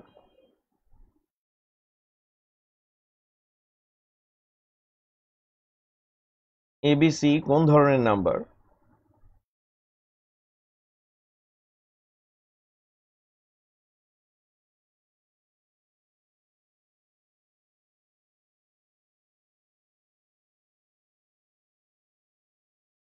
তো মোটামুটি অনেকেই অ্যান্সার দিয়ে দিচ্ছেন যে এটা হচ্ছে হেক্সাডেসিমাল নাম্বার, কিন্তু আপনাদের অ্যান্সারটা ভুল হয়েছে কেন ভুল হয়েছে আমি চাইলে এবিসি কে কি বলতে পারি? প্রাথমিক জ্ঞানও বলতে পারি। ঠিক আছে? আমি এবিসি কে প্রাথমিক জ্ঞান বলতে পারি। ঠিক আছে? তো এবিসি কিন্তু নাম্বার না। ঠিক আছে? আমি বলছি নাম্বার। কেন এটা নাম্বার না? কারণ এটার বেস আমার উল্লেখ করা নাই। যদি বেস সিক্সটিন উল্লেখ করা থাকতো, তাহলে এটা আমার কি নাম্বার? এটা হচ্ছে আমাদের হেক্সাডেসিমাল নাম্বার। ঠিক আছে? আমাদের যদি বেস মেনশন করা থাকতো, তাহলে এটা হচ্ছে কি? আমাদের হেক্সাডেসিমাল নাম্বার হইতো। তো এখন থেকে মনে রাখবেন, যেটার বেস অনুপস্থিত থাকবে সেটা কোন ধরনের নাম্বার সেটা আইডেন্টিফাই করা যাবে না। এখন এটা কেন বললাম? কারণ আমরা যে কাজ করতেছি, আমরা কিন্তু আমাদের নিজেদের পড়ার মানে আমরা খাতা কলমের কাজ করতেছি না। আমরা হচ্ছে ডিজিটাল ইলেকট্রনিক্সের কাজ করতেছি। ডিজিটাল ইলেকট্রনিক্সে আপনার নাম্বার যেটা আপনি ইউজ করবেন, সেই নাম্বারের অবশ্যই আপনার বেসকে কি করতে হবে স্যার ডিফাইন করতে হবে, নির্দিষ্ট করে দিতে হবে। আপনি যদি সেটা ডিফাইন না করে দেন তাহলে সেটা কোন ধরনের নাম্বার সেটা আপনি কিন্তু কখনো কি করতে পারবেন না ডিজিটাল ইলেকট্রনিক্স আইডেন্টিফাই করতে পারবেন না। আপনাদের হাতের কাছে যাদের ক্যালকুলেটর আছে, তারা একটু দেখলে বুঝতে পারবেন বিষয়টা যে ক্যালকুলেটরে মোড নামক একটা অপশন আছে, ঠিক আছে? ক্যালকুলেটরে মোড নামক একটা অপশন আছে। ওই মোড নামক অপশনে যদি যান, দেখবেন বেস দেওয়া আছে। তো আপনি যখন বেসটাকে সিলেক্ট করবেন এখানে ডেসিমাল আছে বাইনারি আছে অক্টাল আছে হেক্সা ডেসিমাল আছে। তো আপনার এই পপুলার নাম্বারগুলো আপনার কম্পিউটার ক্যালকুলেটরে কি করা আছে, দিয়ে দেওয়া আছে। তার মানে ডিজিটাল ইলেকট্রনিক্সে আপনার অবশ্যই বেস কিন্তু মেনশন করতে হবে। যদি বেস না থাকে, সেটা কোন ধরনের নাম্বার সেটা আইডেন্টিফাই করা খুবই কঠিন। এখন অনেকে কোশ্চেন করতে পারে যে, স্যার, আপনি কেন বেইজের কথাটা এত গুরুত্ব দিতেছেন? আমরা তো কাগজ কলমে লেখার সময় বা আমরা যখন কারোর সাথে নাম্বার নিয়ে কমিউনিকেট করি, আমরা তো কখনো বেস বলি না। তো আমি আজকে যে কথাটা বলতেছি, সেটা খুব ভালো মতো আপনারা শুনে রাখেন। আপনারা সেই কথাটা খুব ভালোভাবে একটু শুনে রাখেন। সেটা হচ্ছে যে, স্যার, আমরা জেনে, হিউম্যানরা জেনে অথবা না জেনে এক ধরনের নাম্বার নিয়ে কাজ করি। সেটা হচ্ছে হলো গিয়ে ডেসিমাল নাম্বার। তাই আমরা যখন কোথাও যাই, যাওয়ার সময় যদি কোনো নাম্বার ব্যবহার করি, আমরা কখনো কিন্তু বেস মেনশন করি না। লাইক আপনি দোকানে একশো টাকা রিচার্জ করতে গেছেন, আপনি কখনো বলেন না একশো বেস টেন টাকা রিচার্জ করেন। আপনি দোকান থেকে কোনো কিছু কিনতে গেছেন, যে আমাকে ফাইভ বেস টেন কেজি চাল দেন। ওকে, আপনি কিন্তু বেজ মেনশন করেন না। কারণ আমি দোকানদার, আমরা যারা যার যার সাথে কমিউনিকেট করি, আমরা জেনে অথবা না জেনে এক ধরনের নাম্বার নিয়ে কাজ করি, এটা হচ্ছে ডেসিমাল কিন্তু যখন আপনি কম্পিউটার সিস্টেমে আসবেন কম্পিউটার সিস্টেমে কিন্তু ভ্যারাইটিস আছে। ডেসিমাল আছে বাইনারি আছে অপটাল আছে হেক্সা ডেসিমাল আছে। দ্যাট মিনস ভ্যারাইটিস আছে। তো এই ভ্যারাইটিসগুলো যাতে কম্পিউটার সিস্টেম বুঝতে পারে, সেটার জন্য আপনাকে অবশ্যই হচ্ছে হলো গিয়ে বেসটাকে কি করতে হবে স্যার মেনশন করতে হবে ওকে যদি বেস মেনশন না করেন, আপনার সিস্টেম কখনো আইডেন্টিফাই করতে পারবে না, এটা কোন ধরনের নাম্বার ঠিক আছে স্যার ওকে এবার আমরা হচ্ছে স্যার নাম্বার কনভার্সনটা দেখব। নাম্বার কনভার্সন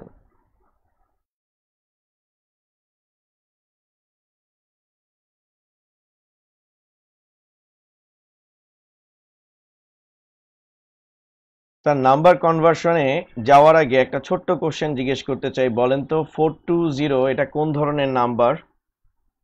বলেন তো স্যার ফোর টু জিরো এটা কোন ধরনের number?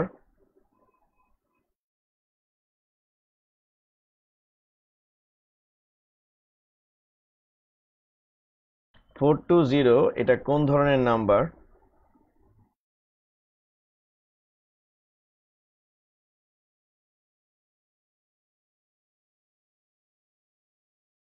Very good Abdullah Imtiaz very good undefined ঠিক আছে. নর্মাল নাম্বার বইলা তো কিছু নাই রে। তো কি পড়াইলাম? এখানে ফোর টু জিরো কোনো নাম্বার না, সাফি জামান ভেরি গুড কারণ এটার বেইজ আমি কি করি নাই মেনশন করি নাই। তো এটা কোন ধরনের নাম্বার আমরা আইডেন্টিফাই করতে পারব না?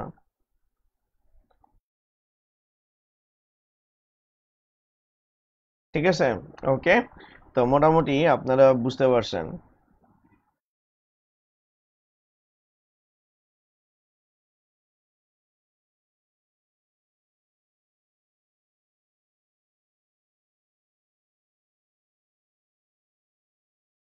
এবার আমরা নাম্বার কনভার্সন নিয়ে কথাবার্তা বলব, যে আমরা নাম্বার কনভার্সন কেন শিখব? তো এইটা হচ্ছে সবচেয়ে ইম্পর্টেন্ট একটা টপিক যেটার মাধ্যমে আপনি বুঝতে পারবেন কম্পিউটার আমাদের দেওয়া ইনস্ট্রাকশনগুলো কেমনে বুঝতে পারে?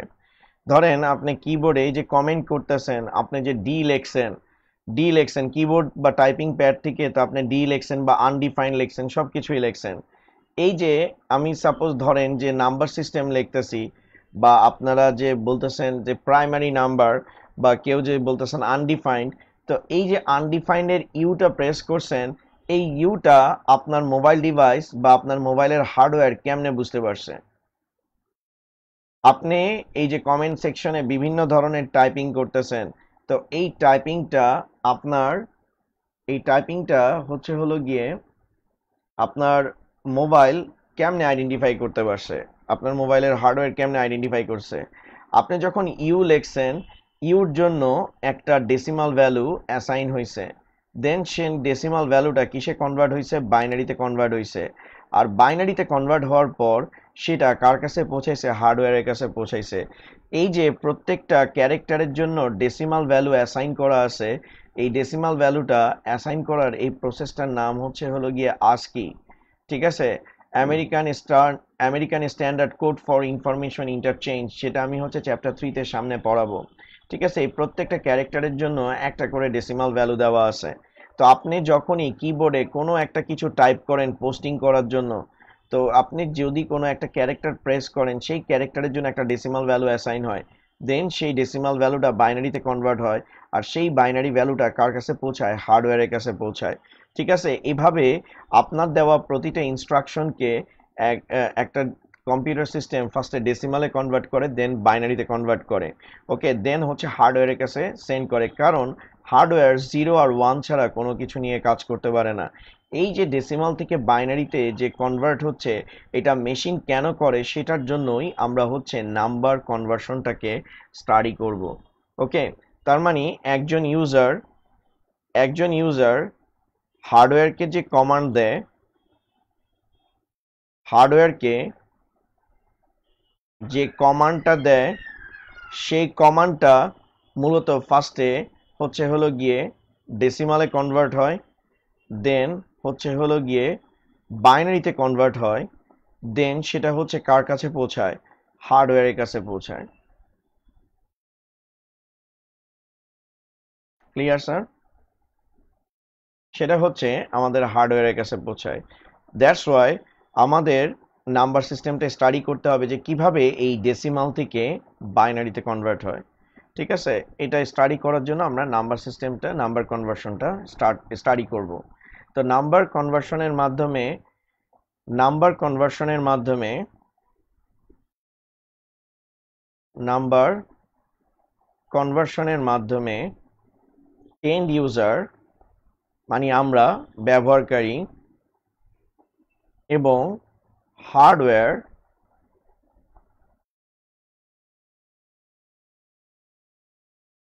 পরস্পরের মধ্যে কি করতে পারে? ইন্টারাকশন করতে পারে। ঠিক আছে? মানে হচ্ছে যে কমিউনিকেশনটা করতে পারে। ঠিক আছে? মোহাম্মদ ইমরান ডাইরেক্ট কোনো কিছু বাইনারিতে কনভার্ট হয় না, সেটা আমি হচ্ছে হলো গিয়ে সামনে এক্সপ্লেইন করব। ওকে এবার আমরা হচ্ছে যেটা ফার্স্টে স্টাডি করব, সেটা হচ্ছে decimal to other base conversion decimal to other base conversion decimal to other base কনভার্সনটা আমরা হচ্ছে স্টাডি করব। লাইক আমাদের এখানে দেওয়া আছে টোয়েন্টি ফাইভ বেস টেন এটাকে আমরা কনভার্ট করব বাইনারিতে ঠিক আছে? টোয়েন্টি ফাইভ বেস টেন এটাকে আমরা কিসে কনভার্ট করব? বাইনারিতে কনভার্ট করব। এখন কথা হচ্ছে টোয়েন্টি ফাইভ বেস টেন এটাকে বাইনারিতে আমরা কেমনে কনভার্ট করব? ওকে তো আদার বেস বলতে আমি আসলে এখানে একটু বলে রাখি ডেসিমাল বলতে বেস টেন আদার বেস বলতে আমার টু হইতে পারে এইট হইতে পারে সিক্সটিন হইতে পারে, তারপর আরও অনেক হইতে পারে। ঠিক আছে, ওইটা নিয়ে আমরা স্টাডি করব। এবার আমি হচ্ছে যে দেখাচ্ছি যে কীভাবে আপনি ডেসিমাল থেকে অন্য বেজে রূপান্তর করবেন। তো ডেসিমাল যেই সংখ্যাটা দেওয়া থাকবে, যেমন এখানে ডেসিমাল সংখ্যা দেওয়া কত? টোয়েন্টি ফাইভ এটাকে কোন বেজে কনভার্ট করতে বলছে? বেস টুতে দ্যাট মিনস টোয়েন্টি ফাইভকে আপনি বেস টু দ্বারা কি করবেন, ভাগ করবেন। ততক্ষণ পর্যন্ত ভাগ করতে হবে, যতক্ষণ পর্যন্ত ভাগফল শূন্য না হয়। আর ভাগফল শূন্য হওয়ার পর তারপর আপনার ভাগশেষগুলোকে গণনা করতে হবে। আশা রাখি কোনো কিছু বুঝেন নাই, আমি আবার বুঝাই বলতেছি। আমরা ডেসিমাল থেকে আদার বেজে কনভার্ট করব। তো আমাদের আদার বেজ হচ্ছে কি টু তো আমাদের এখানে দেওয়া আছে ডেসিমাল সংখ্যাটা কি টোয়েন্টি ফাইভ তো এই টোয়েন্টি ফাইভকে এই টোয়েন্টি ফাইভকে আমি হচ্ছে কত দ্বারা ডিভাইড করব স্যার টু দ্বারা ডিভাইড করব। ওকে টোয়েন্টি ফাইভকে আমি হচ্ছে টু দ্বারা ডিভাইড করব। তো টোয়েন্টি ফাইভকে আমি যদি টু দ্বারা ডিভাইড করি, তাহলে কতবার যাবে? টুয়েলভ টাইমস যাবে। তাহলে এখানে আসতেছে কি? টোয়েন্টি ফোর টোয়েন্টি ফাইভ থেকে টোয়েন্টি ফোরকে সাবট্রাক্ট করলে ভ্যালু থাকবে কি? ওয়ান তাহলে এখানে আসবে আমাদের টুয়েলভ হাইফেন কত বসবে? ওয়ান তো অনেকে এটাকে মাইনাস বলে, এটাকে স্যার সেপারেটর বলে। কারণ মাইনাস বললে এখানে আমরা কেন ইলেভেন বসাই? বসাই না। আমরা এখানে ইলেভেন বসাইতে এই জন্যই পারি না, কারণ এটা হচ্ছে আমাদের সেপারেটর এটা ইন্ডিকেট করতেছে যে আমি টোয়েন্টি ফাইভকে যদি টু দ্বারা ডিভাইড করি, তাহলে আমার ভাগফল বা কোয়েশন আর রিমাইন্ডার হচ্ছে হলো গিয়ে এত। যেমন টোয়েন্টি ফাইভকে টু দ্বারা ডিভাইড করার পর এখান থেকে আমি বুঝতে পারতেছি আমার ভাগফল বা কোয়েশন হচ্ছে টুয়েলভ আর আমার রিমাইন্ডার বা ভাগশেষ হচ্ছে কি ওয়ান তো আমাকে কি বলা হয়েছে? যতক্ষণ পর্যন্ত ভাগফলটা জিরো না হয়। ঠিক আছে? এখন এটাকে আমি আবার হচ্ছে টু দ্বারা ডিভাইড করব। তো টুয়েলভকে আমি হচ্ছে হলো গিয়ে টু দ্বারা ডিভাইড করব। তো সিক্স টুয়েলভ এখানে আমার কত আসবে? জিরো তাহলে এখানে আসতেছে সিক্স হাইফেন কত? জিরো ওকে, আমার ভাগশেষ নিয়ে কোনো টেনশন নাই, আমার হচ্ছে ভাগফল। তো ভাগফল কত আসতেছে? সিক্স আসতেছে। দ্যাট মিনস আমার ভাগফলটা এখনও কি হয় নাই? শূন্য হয় নাই। তো আমি আবার সিক্সকে টু দ্বারা ডিভাইড করব। সিক্সকে টু দ্বারা ডিভাইড করব। তো থ্রি টাইমস যাবে থ্রি টু সিক্স জিরো তাহলে থ্রি হাইফেন জিরো এবার আমি আবার দেখতেছি আমার ভাগফলটা কি হয় নাই জিরো হয় নাই। তো থ্রিকে আমি হচ্ছে আবার টু দ্বারা কি করব ডিভাইড করব। তো থ্রিকে টু দ্বারা যদি ডিভাইড করি ওয়ান টাইম যাবে। তো থ্রি ঠিককে টুকে সাবট্রাক্ট করলে ভ্যালু কি ওয়ান তাহলে আমার ভাগফল হচ্ছে হলো ওয়ান আর আমার ভাগ শেষ হচ্ছে হলো গিয়ে ওয়ান তো এখন আমি টুকে ওয়ানকে টু দ্বারা ডিভাইড করব। তো আমি জিরো দিব টু দ্বারা মাল্টিপ্লাই করলে আমার রেজাল্ট জিরো তো ওয়ান থেকে জিরোকে সাবট্রাক্ট করলে ওয়ান তাহলে এখানে আমার জিরো আসলো, এখানে আসতেছে ওয়ান তাহলে আমার ভাগফলটা জিরো চলে আসছে। এই জায়গাটাতে একটা বড় কোশ্চেন স্টুডেন্টদের তৈরি হয় যে, স্যার, এতটুক পর্যন্ত আমি বুঝছি যে, ভাগ করছি, ভাগ করার পর ভাগফলকে বাম পাশে বসাইছি, ভাগশেষকে ডান পাশে বসাইছি। তো এখানেও বুঝছি, কিন্তু এখানে হুট করে জিরো কেমনে আসছে সেটা একটু আমাকে বুঝায় বলেন। তো স্যার, সেটাই বুঝায় বলতেছি, সেটা একটু আপনাদেরকে স্লো মোশনে বুঝাইতেছি। তাহলে স্যার, একটু দেখেন। আমি যদি টু দিয়ে মানে ফাইভকে যদি টু দ্বারা ভাগ করি, তাহলে আপনাদেরকে যদি বলি এটার অ্যান্সার কি হবে? আপনি বলবেন, এটা কোনো ঘটনা হইল, এটার অ্যান্সার এটা হবে। কিন্তু এটাকে একটু স্লো মোশনে যদি দেখাই যে আপনার ব্রেইন অপারেশনটা কেমনে পারফর্ম করছে। আপনার ব্রেইন কিন্তু এভাবে করে পারফর্ম করে নাই। তো ফার্স্টে আপনার ব্রেইন হচ্ছে জিরো নিছে তো জিরো আর টুকে মাল্টিপ্লাই করলে আমার রেজাল্ট কত আসবে? জিরো তো মনে রাখতে হবে ভাগের ক্ষেত্রে এই সংখ্যা আর এই সংখ্যার গুণফল অবশ্যই মাঝখানের সংখ্যার সমান হবে অথবা তার থেকে কি হবে? ছোট হবে। কখনো তার থেকে বড় হইতে পারবে না। ঠিক আছে? অর্থাৎ আমার এই সংখ্যা আর এই সংখ্যা, এই দুইটা সংখ্যার গুণফল মাঝখানের সংখ্যার থেকে ছোট হবে অথবা তার সমান হবে। তো এবার আমরা হচ্ছে এই জায়গাটাতে ওয়ান নিলাম। তো ওয়ান দিয়ে টুকে মাল্টিপ্লাই করলে রেজাল্ট হচ্ছে হলো গিয়ে টু স্টিল এটা ফাইভের থেকে কি? ছোট। তো আপনার ব্রেইন বলবে যে ভ্যালুটা আর একটু বাড়ানো যাক। তো আমি আবার টু নিলাম। টু এর সাথে টুকে মাল্টিপ্লাই করলে রেজাল্ট কি আসবে? আমার ফোর আসবে। ওকে তো এখন এই দুইটা সংখ্যার গুণফল স্টিল কার থেকে ছোট ফাইভ থেকে, তো আপনার ব্রেন বলবে যে আর একটু ভ্যালু বাড়ানো যাক। তো আমি এই জায়গাটাতে থ্রি নিলাম। থ্রি আর টু মাল্টিপ্লাই করলে রেজাল্ট কি সিক্স যেটা ফাইভের থেকে কি হয়ে যাচ্ছে? বড় হয়ে যাচ্ছে, যেটা কখনোই আমাদের রুলসের সাথে ম্যাচ করতেছে না। তো ব্রেইন বলবে যে, ভাই, দরকার নেই, আগেরটাই ঠিক ছিল। তো টু আর টু মাল্টিপ্লাই করলে রেজাল্ট কি ফোর এখন দেখেন, আমরা এই ওয়ান আসছে, আমি বলছিলাম আমার ভাগফল যতক্ষণ জিরো না হয় তো ওয়ানকে আমার হচ্ছে কত দ্বারা ডিভাইড করতে হবে? টু দ্বারা ডিভাইড করতে হবে। এখন আমি যদি এখানে ওয়ান নিয়ে নিই ওয়ান দিয়ে টুকে মাল্টিপ্লাই করলে রেজাল্ট কি হয়ে যাবে? টু যেটা এই ডিজিটের থেকে কি হয়ে যাচ্ছে? বড় হয়ে যাচ্ছে। তো সেটার জন্য আমরা কি করব? যে আমরা গুণ করব ঠিকই, কিন্তু ভ্যালু কি হইতে হবে? ছোট। তো এই জিরো আর টুকে মাল্টিপ্লাই করলে রেজাল্ট কি আসে? জিরো আর ওয়ান থেকে জিরোকে সাবট্রাক্ট করলে রেজাল্ট কি আসে? বিয়োগ করলে রেজাল্ট আসে ওয়ান তো আমাদের ভাগফলটা জিরো বাম পাশে বসছে। আর ভাগশেষটা আমাদের ডান পাশে বসছে। ঠিক আছে, স্যার? এখন আমরা শুধুমাত্র ভাগশেষকে ক্যালকুলেট করব। আমরা শুধু ভাগশেষগুলোকে ক্যালকুলেট করব।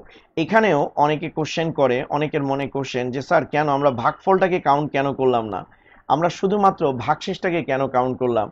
স্যার, আমরা ভাগফলটাকে ভাগফলটাকে কাউন্ট এজন্যই করতেছি না, আমরা কিসে কনভার্ট করতেছি? বাইনারিতে তো বাইনারিতে ডিজিট আছে কয়টা? একটা জিরো আর একটা কি? ওয়ান তো এখানে দেখেন, ভাগফলে টুয়েলভ আছে সিক্স আছে থ্রি আছে, যেগুলো আমাদের বাইনারিতে অবস্থিত ডিজিটগুলোর সাথে কি করে না ম্যাচ করে না।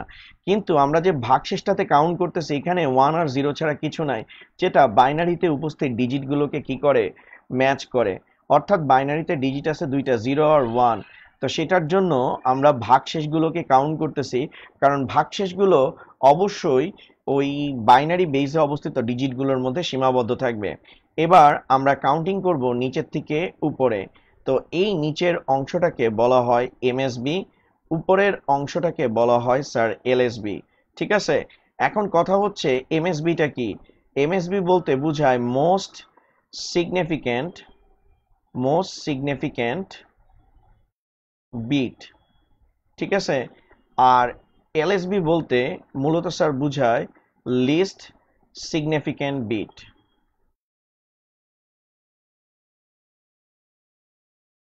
most significant bit least significant bit ঠিক আছে? তো অনেকে অনেকে এভাবে করে এলএসবি লেখে। স্যার, আপনাদেরকে একটু বলে রাখি স্মল বি আর ক্যাপিটাল বি এর মধ্যে তফাৎ আছে।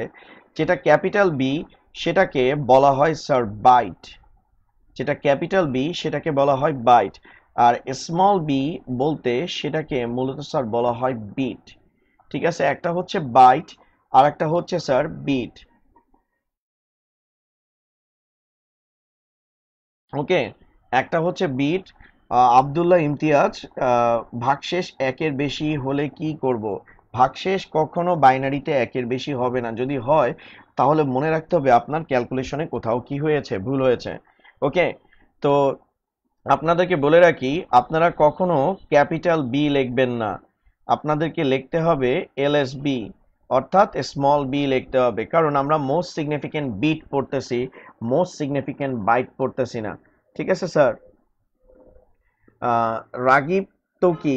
কম্পিউটার কখনো ফ্র্যাকশনে কাজ করতে পারে না, সেজন্য আমরা জিরো পয়েন্ট ফাইভটা নিতে পারব না। কম্পিউটার এই ফ্লোটিং পয়েন্ট বা হচ্ছে পয়েন্টযুক্ত ক্যালকুলেশনগুলো একটু ভিন্ন স্টাইলে করে।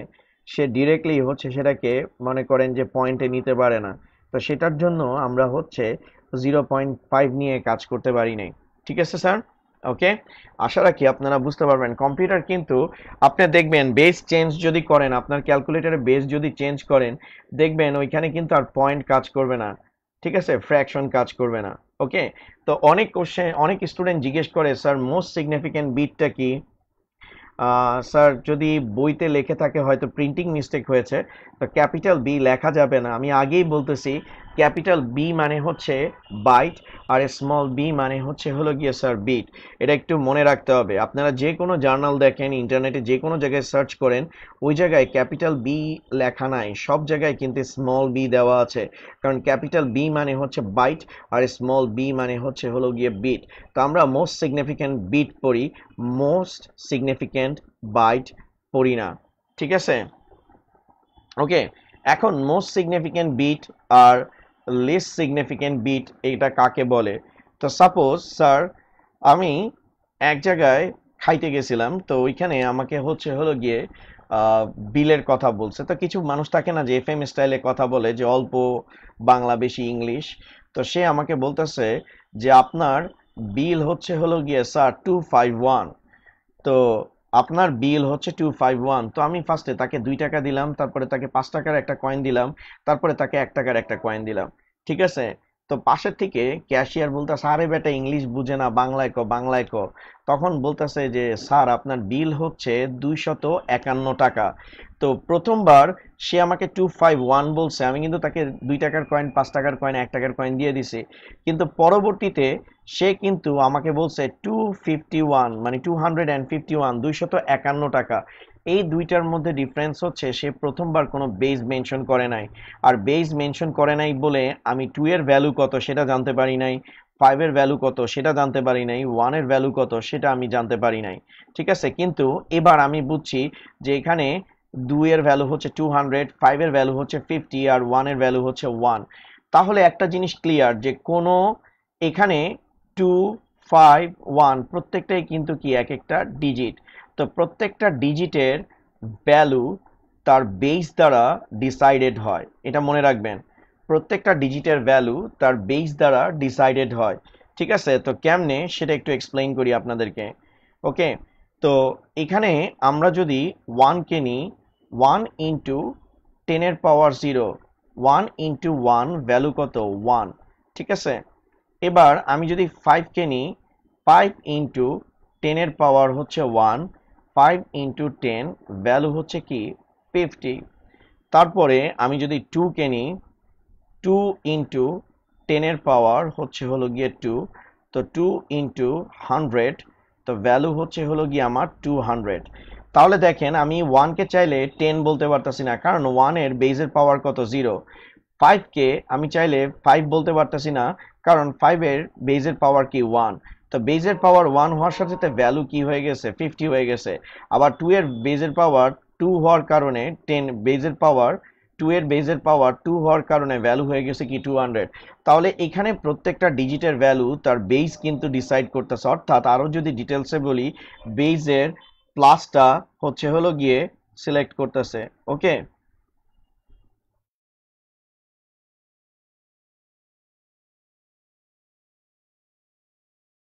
ওকে, স্যার।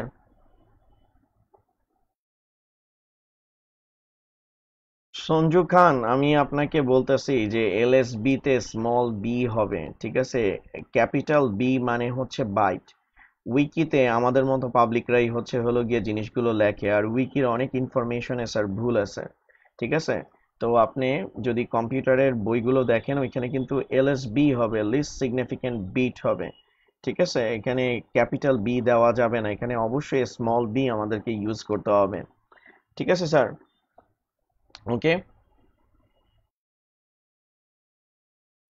এখন এখানে দেখেন ওয়ানের হচ্ছে বেজের power ten to the power zero ফাইভের বেজের পাওয়ার হচ্ছে ten to the power one two এর বেজের পাওয়ার হচ্ছে ten to the power two তাহলে এই তিনটা ডিজিটের মধ্যে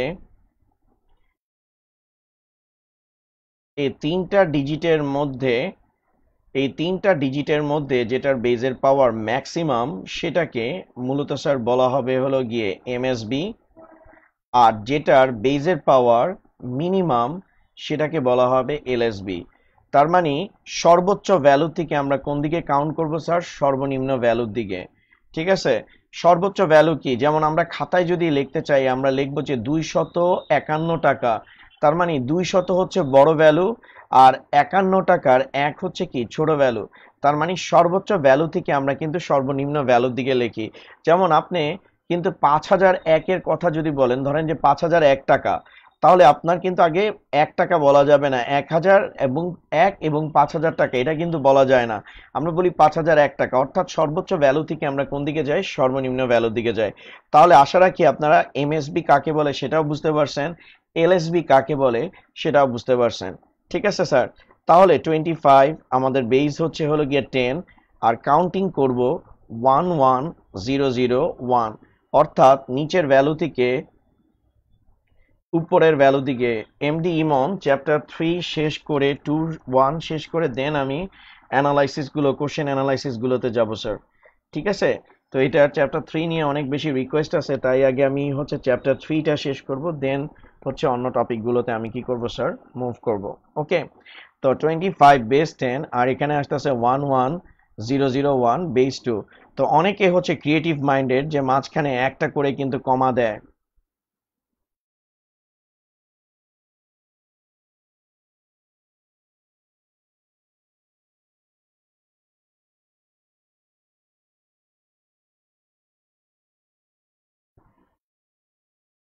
ওকে তো এখানে আমাদের হচ্ছে হলো গিয়ে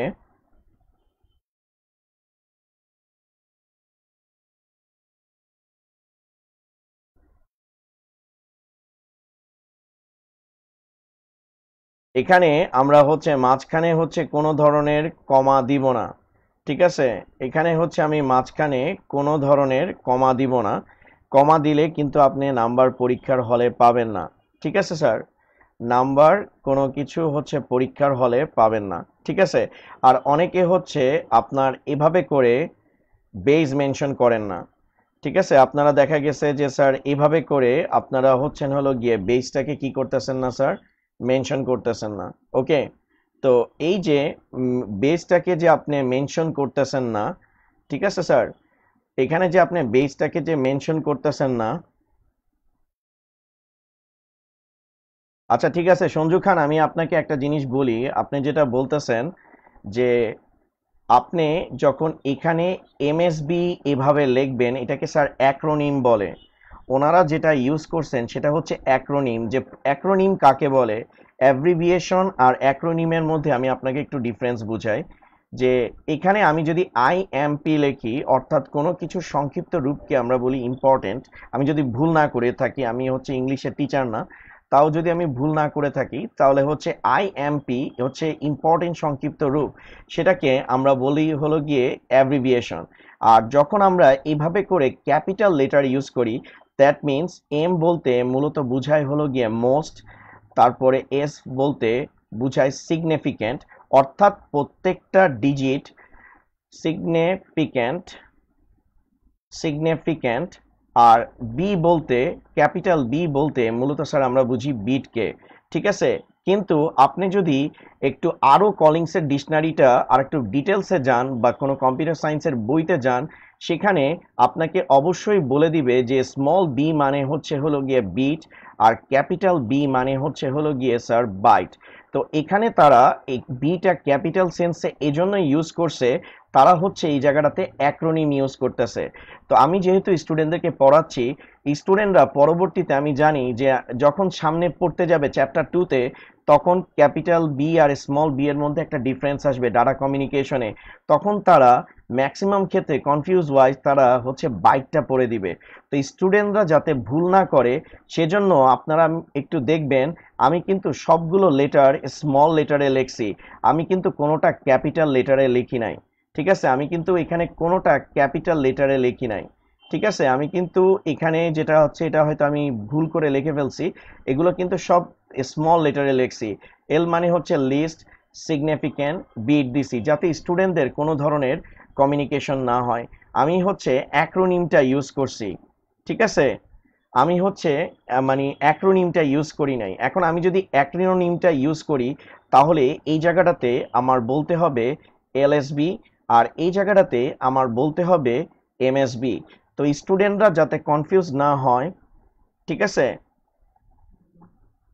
আচ্ছা ঠিক আছে। আপনার সাথে আসলে আমার আর্গুমেন্টে যাওয়ার কোনো দরকার নেই। আমি যেটা করতেছি সেই অনুযায়ী আমি হচ্ছে হলো গিয়ে কাজটা করব। ওকে স্যার আই হোপ আপনি অ্যান্সার যদি বুঝতে পারেন, বুঝবেন, না তো কিছু করার নাই আমার। তো এখানে আমাদের হচ্ছে হলো গিয়ে আপনি এলএসবি যদি ইউজ করেন, আর এটা এমএসবি আপনি হচ্ছেন হলো গিয়ে অ্যাক্রোনিমটা ইউজ করতেছেন, যে লিস্ট সিগনিফিক্যান্ট বিট কিন্তু ডাটা কমিউনিকেশনে যখন আপনি যাবেন, তখন কিন্তু আপনি ক্যাপিটাল বি আর স্মল বি এর মধ্যে ম্যাক্সিমাম স্টুডেন্টরা প্রবলেম ফেস করবে। তো স্মল বি হচ্ছে হলো গিয়ে বিট আর ক্যাপিটাল বি হচ্ছে হলো গিয়ে বাইট তো আপনারা যারা লিখবেন, যদি লেখেন ক্যাপিটাল লেটারে যদি লেখেন, কোনো প্রবলেম নাই। কিন্তু পরবর্তীতে যেন কনফিউশন না হয়, সেটা একটু মাথায় রাখবেন। ঠিক আছে? তো ঠিক আছে স্যার ওকে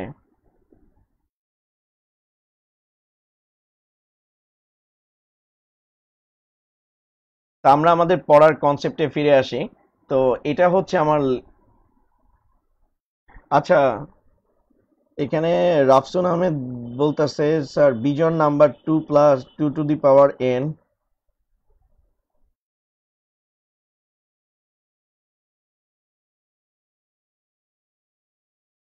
জি স্যার, এটা ইন্টেজার দেখে। রাফসুন মানে কম্পিউটার সিস্টেম হচ্ছে হলো গিয়ে আমাদের ক্যালকুলেশনগুলো নিয়ে কাজ করতে পারে না।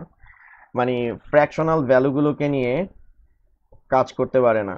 ঠিক আছে, স্যার? ওকে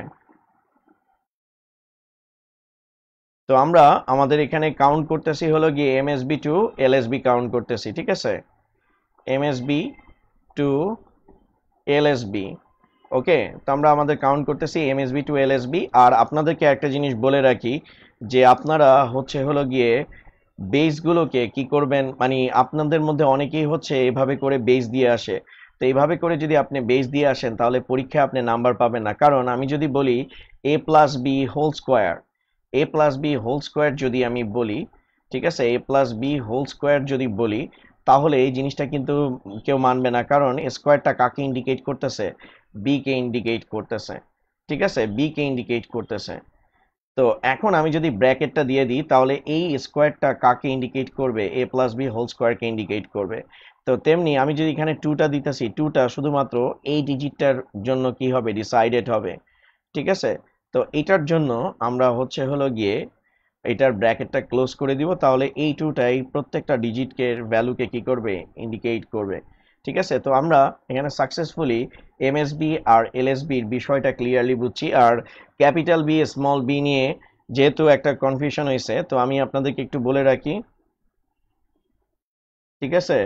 আমি একটু বলে রাখি যে আপনারা যদি এভাবে করে লেখেন, তাহলে অবশ্যই মাথায় রাখবেন যে পরীক্ষার খাতায় লেখার সময় ভুল করে এটাকে আবার বাইট লেখা দিয়ে আসেন না। তখন কিন্তু আপনি নাম্বার পাবেন না। কারণ এখানে এম হচ্ছে হলো গিয়ে মোস্টকে রিপ্রেজেন্ট করতেছে অ্যাক্রোনিম করতেছে। এস হচ্ছে হচ্ছে হলো গিয়ে যে সিগনিফিক্যান্ট আর বি হচ্ছে ক্যাপিটাল বি হচ্ছে বাইটকে রিপ্রেজেন্ট করতে বিটকে রিপ্রেজেন্ট করতেছে। অ্যাক্রোনিম হিসাবে। তো আপনারা যদি এটা মনে রাখতে পারেন তাহলে খুবই ভালো। তো সেফ সাইডে থাকার জন্য আমি হচ্ছে স্যার আপনাদেরকে এই জিনিসটা বলছিলাম যাতে আপনারা এই ভুলটা না করেন। ঠিক আছে? কারণ ম্যাক্সিমাম খাতায় দেখছি আমি যে এমএসবি লেখার পর এই জায়গাটাতে লিখে দেয় মোস্ট সিগনিফিক্যান্ট বাইক লিখে দিয়ে চলে আসে। তো আপনি যদি মোস্ট সিগনিফিকেন্ট বাইক লেখা দিয়ে চলে আসেন, তাহলে পরীক্ষায় আপনার নাম্বার পাওয়ার পসিবিলিটিসটা একদম কমে যাবে। ঠিক আছে? আর আমি যদি এই জায়গাটাতে স্মল বি লিখে দিই দ্যাট মিনস হচ্ছে যে আমার ভুল যাওয়ার চান্সটা কি থাকবে? কম থাকবে। তো সেই পয়েন্ট অফ ভিউতে আমি হচ্ছে বলছিলাম যে আপনি এমএসবি লেখেন এলএসবি লেখেন। আদারওয়াইজ আমার ক্যাপিটাল এমএসবি নিয়েও কোনো সমস্যা নাই স্মল এলএসবি নিয়েও সমস্যা নাই। আমার সমস্যাটা হচ্ছে স্টুডেন্ট যাতে নাম্বারটা কম না পায়, সেটার জন্য আমি জিনিসটাকে এক্সপ্লেইন করছি। আই হোপ আপনারা আমার মানে জাস্ট হচ্ছে হলো গিয়ে এক্সপ্লেনেশনের অ্যান্সারটা পাইছেন। তো নেক্সট ক্লাসে আমরা চ্যাপ্টার থ্রি এর আরও গুরুত্বপূর্ণ টপিকগুলো নিয়ে দেখব। আজকের মতো এতটুকুই। নেক্সট ক্লাসে আবার দেখা হবে স্যার থ্যাংক ইউ আর বাসায় আপনাদের জন্য একটা অ্যাসাইনমেন্ট থাকবে। সেটা হচ্ছে আপনারা করবেন four two zero base ten এটাকে হচ্ছে টুতে কনভার্ট করবেন।